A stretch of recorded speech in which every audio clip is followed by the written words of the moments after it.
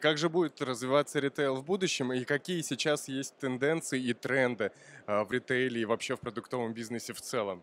So what are the trends and uh, future developments of retail?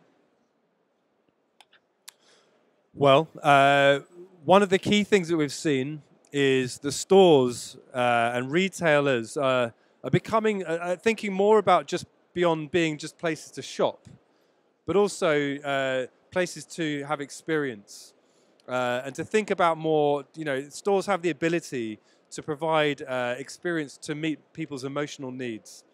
So we've seen many trends, for example, and retailers around the world who are now integrating uh, uh, eating in services uh, in the store, and also stores becoming almost distribution hubs for local uh, audiences uh, for uh, online orders. So the whole model of the retail store is changing and adapting to meet those needs.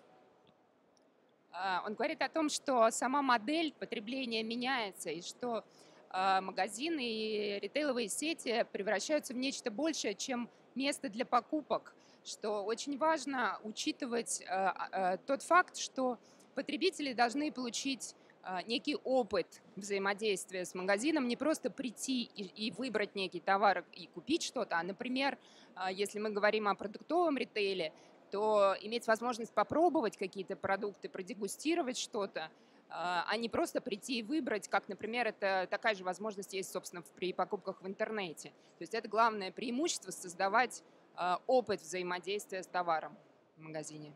One more, one more point. Um, I suppose this is another another big thing we've seen, uh, and it's based around the idea that there can only be one cheapest, and because because actually, meaning that um, in any one retail market, there's always going to be one store that's the cheapest.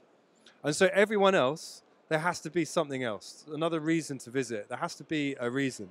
And so we're seeing uh, many retailers now trying to shift away from a constant cycle of promotions and to provide uh, an experience that really is engaging with the shopper and meeting their needs uh, beyond just price, but trying to kind of find those things that are really engaging with them uh, and that might be about how to provide better inspiration, how to you know uh, be more convenient to the shopper, and so those, that that shift is a fundamental one uh, because promotions uh, will eventually kill your business if you only run on that basis.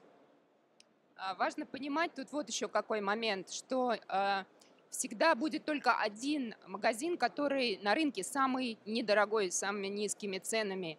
И если вы строите свою стратегию исключительно вокруг низ, низкой цены, то это тупиковый, тупиковая стратегия, что опять-таки возвращаясь он к своей мысли о том, что нужно создавать опыт взаимодействия, который помогает потребителю найти ответы на свои вопросы и закрыть свои потребности прежде всего.